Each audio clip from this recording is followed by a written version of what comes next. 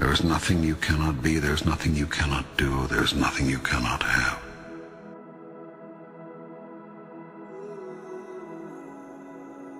You are the most magnificent, the most remarkable, the most splendid being God has ever created.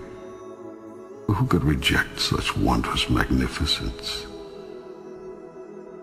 But you do not know who you are.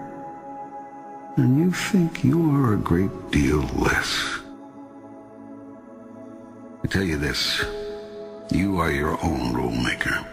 You set the guidelines. And you decide how well you have done, how well you are doing. For you are the one who has decided who and what you really are, and who you want to be. And you are the only one who can assess how well you're doing. All you see in your world is the outcome of your idea about it. Do you want your life to truly take off?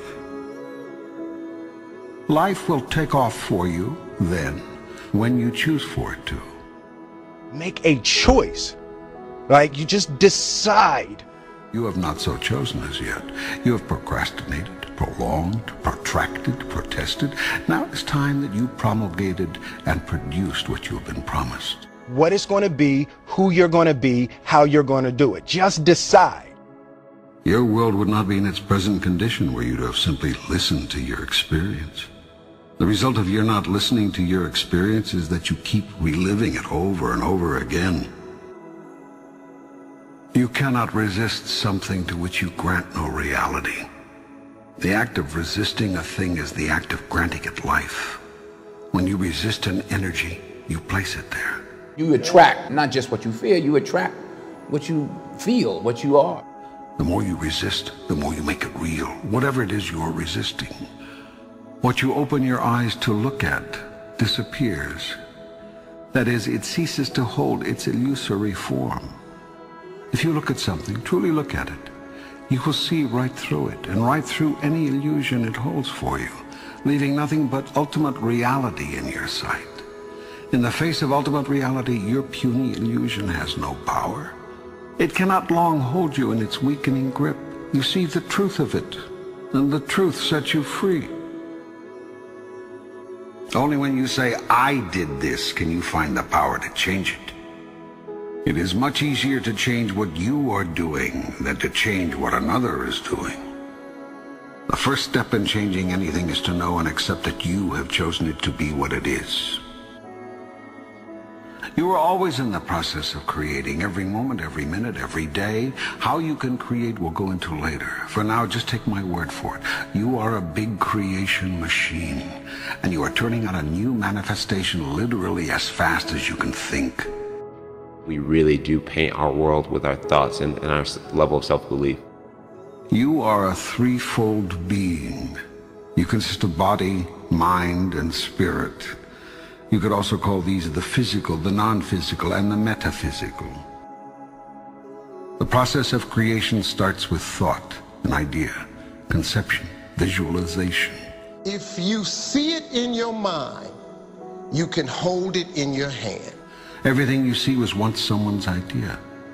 Nothing exists in your world that did not first exist as pure thought. If you have a clear picture in your head of something is, is going to happen, a, a clear belief in that it will happen no matter what. Thought is the first level of creation. If you can see it here, next comes the word. And you have the courage enough to speak it, it will happen. Everything you say is a thought expressed. It is creative and sends forth creative energy into the universe. I wrote myself a check for $10 million for acting services rendered, and I gave myself uh, five years, or three years maybe.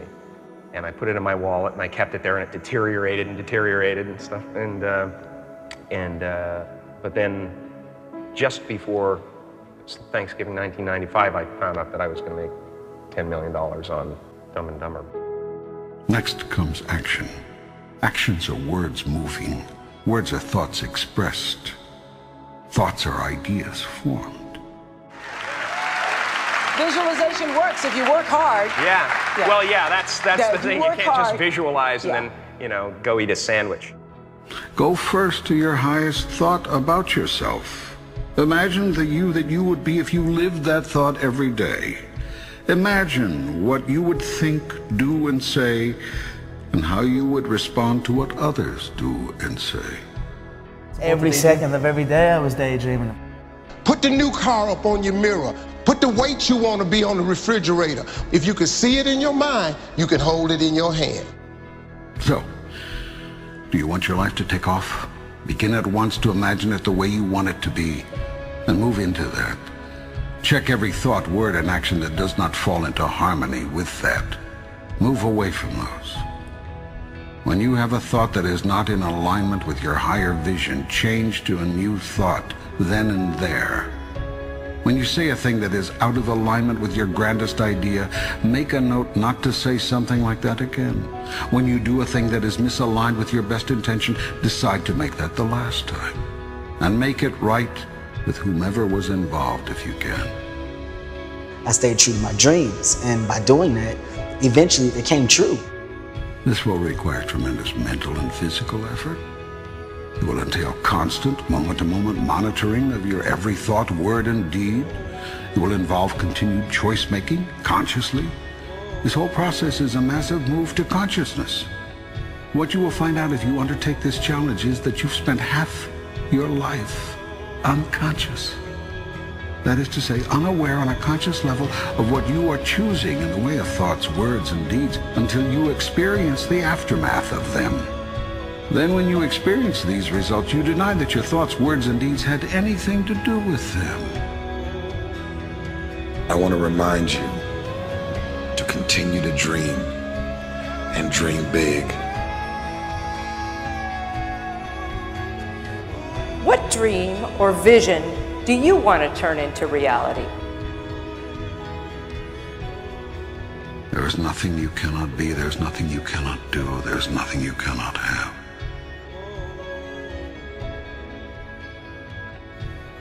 If you're going to try, go all the way. Otherwise, don't even start. If you are going to try, go all the way. There is no other feeling like that. You will be alone with the gods, and the nights will flame with fire. Do it. Do it.